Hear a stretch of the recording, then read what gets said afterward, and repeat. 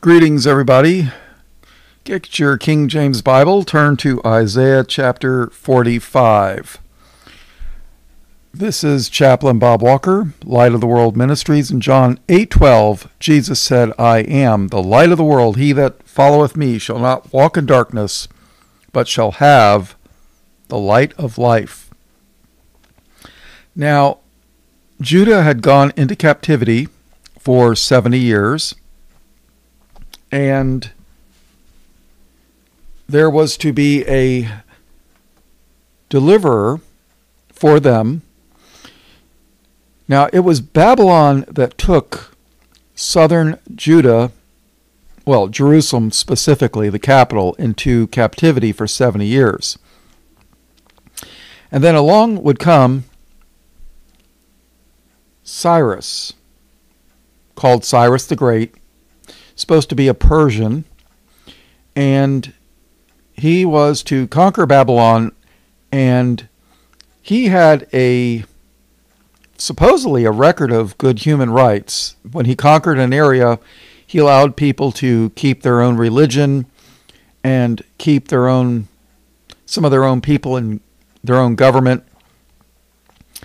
And he allowed Jerusalem and Judah to go return, rebuild the city that the Babylonians had destroyed, and rebuild the temple. And you can read about that in, well, Isaiah 45. You can read about that in the book of Ezra. You can read about that in the book of Nehemiah. You can read about the Babylonian captivity in the book of Jeremiah. However, in the book of Daniel, it has something about Darius or Darius of Persia conquering Babylon. And when you read a lot of the so called history accounts, they'll say, oh, well, Darius or Darius is only a literary figure in Daniel who never existed therefore the Bible's wrong. I don't know if Darius or Darius, depending on how you, you know, call it, the, the, Caribbean, Caribbean. But perhaps Darius was a military governor. Perhaps he was a son.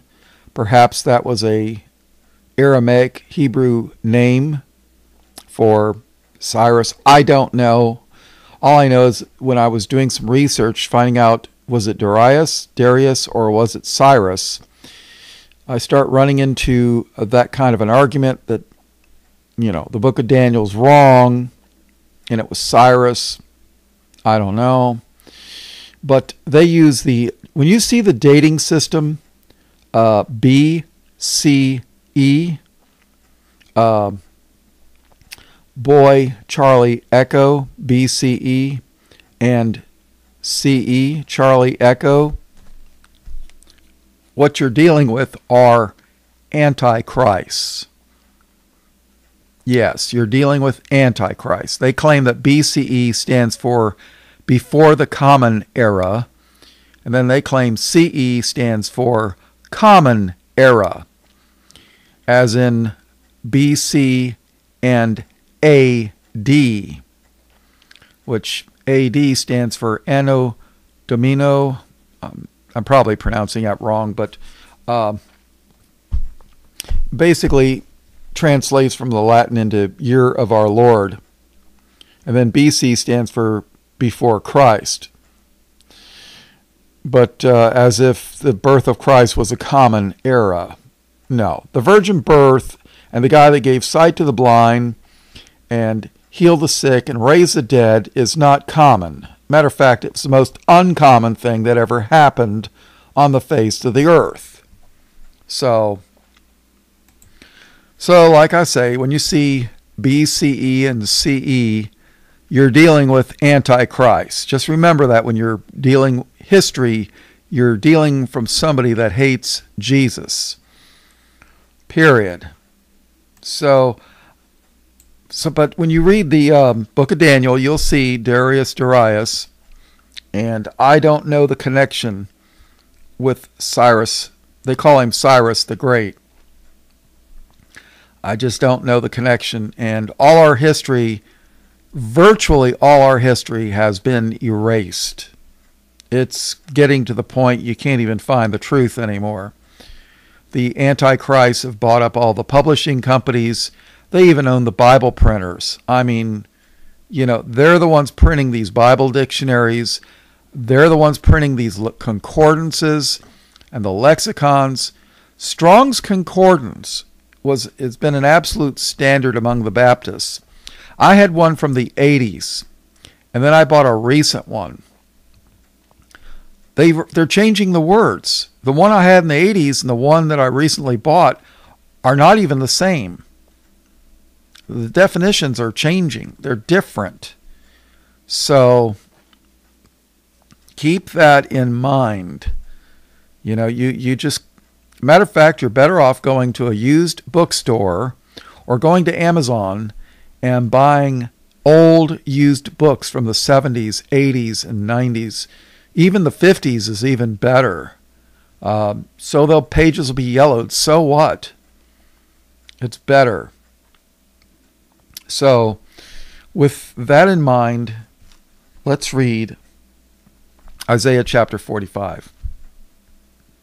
Thus saith the Lord to his anointed, to Cyrus, whose right hand I have holden to subdue nations before him. Then the Lord himself anointed Cyrus and held his hand to subdue the nations, including Babylon, who was there to punish Jerusalem for their wickedness for 70 years, people. That's read the book of Daniel. And I will loose the loins of kings to open before him the two leaved gates, and the gates shall not be shut. I will go before thee and make the crooked places straight. I will break in pieces the gates of brass and cut in sunder the bars of iron. The Lord Himself is going to open those closed gates to Cyrus. Think about that. Verse 3 And I will give thee the treasures of the darkness and the hidden riches of secret places, that thou mayest know that I, the Lord, which call thee by name, am the God of Israel. Now, from what I understand, this was written before Cyrus came to power. I don't know. It's just remember, history is written by the Antichrist now, except for the Bible. Well, they're even changing the Bible now. The Bible printers are making changes, even to the King James Bible. It's that's why I tell you people go get go to the used bookstore, go to Amazon, get used old Bibles. The older, the better. Verse 4 for Jacob my servant's sake, and Israel mine elect, I have even called thee by thy name, I have surnamed thee, though thou hast not known me. Yes, the Lord changed Jacob's name to Israel. Verse 5 I am the Lord, and there is none else. There is no God beside me. I girded thee, though thou hast not known me that they may know from the rising of the sun and from the west that there is none beside me. I am the Lord, and there is none else. Listen to this carefully. I did a Bible study on this. I form the light and create darkness. So this is Isaiah 45 and verse 7. I form the light and create darkness. Well, what's darkness? It's just the absence of light. I make peace and create evil. Ah. What is evil? The absence of good, right? Did God create the archangel that became Satan and the devil? Some say Lucifer. Yes, he did. And when he created him, He created him good. But he rebelled and became evil. And if you are interested in doing an in-depth study of that, I've got I got a study on that too. Uh, according to YouTube, I've got over a thousand uh, Bible studies up on my channel. So I cover a lot of topics. So if you're interested in a topic, write me, let me know. I'll try to find it. So when it says that the Lord, I make peace and create evil, well, originally Satan and the devil was created good, but he fell. So technically God did create evil, but he didn't start off that way. So I form the light and create darkness. I make peace and create evil. I, the Lord, do all these things.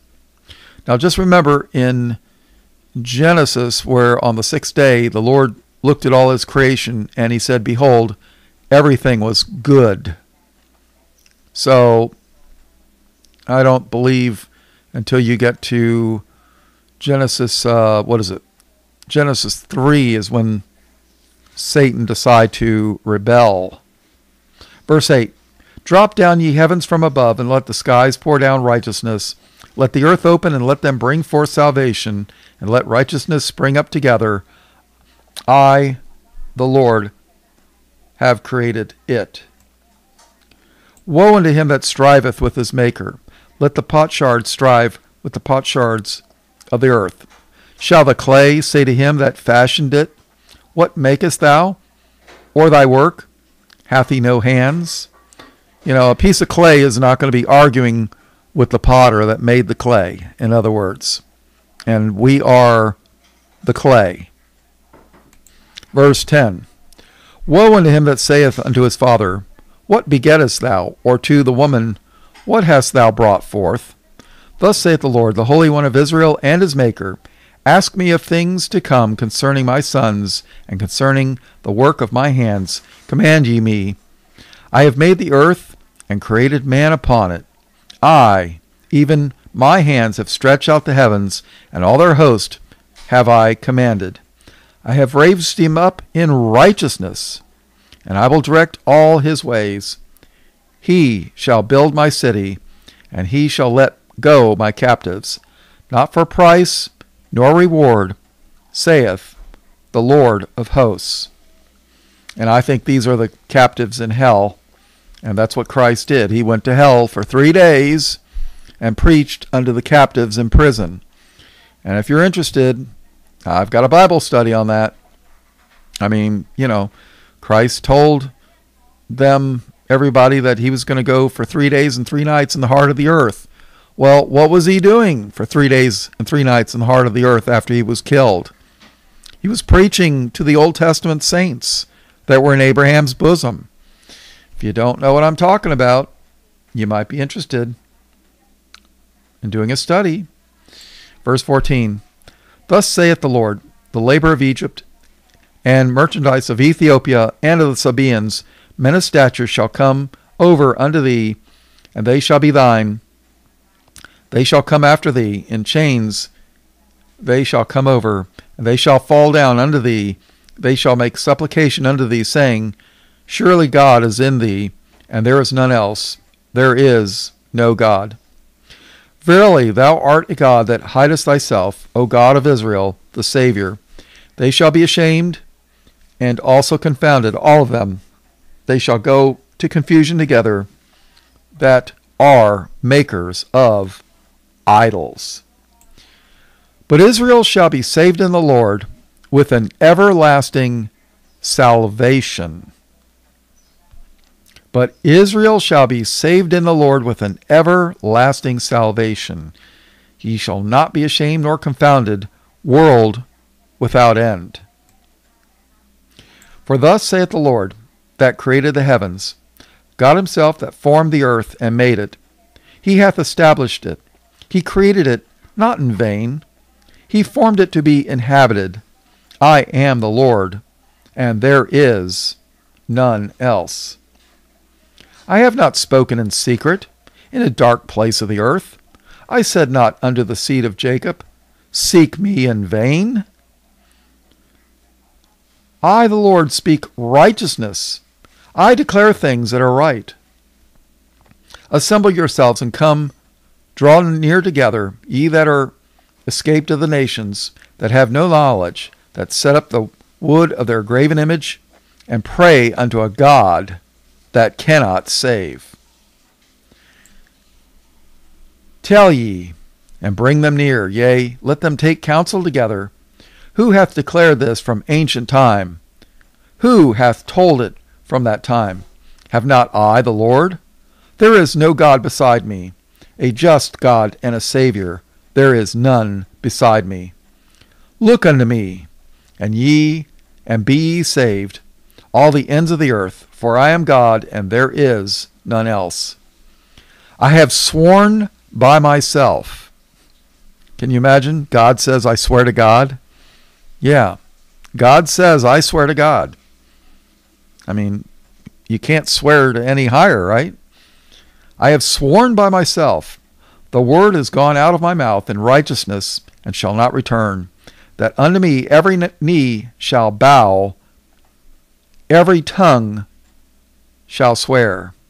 Keep that in mind, that unto me every knee shall bow, every tongue shall swear. Surely shall one say, In the Lord, have I righteousness and strength? Even to him shall men come, and all that are incensed against him shall be ashamed.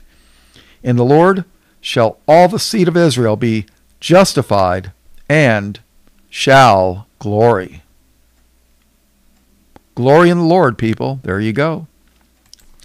Paul writes in Philippians 2:10, that at the name of Jesus, every knee should bow of things in heaven and things in earth and things under the earth.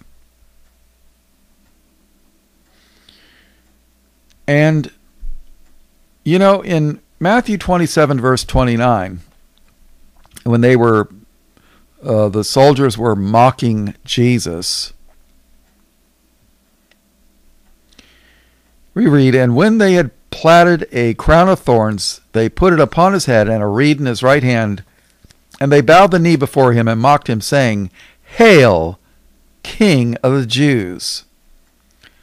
Little do they know that in Romans 14:11, which is a direct quote of Isaiah 45:23, for it is written, As I live, saith the Lord, Every knee shall bow to me, and every tongue shall confess to God. All right, that's the end. All blessings, praise, glory, and honor to God the Father and His only begotten Son, Jesus, who is the Christ, the Lamb of God slain from the foundation of the world. In Jesus' precious name, amen.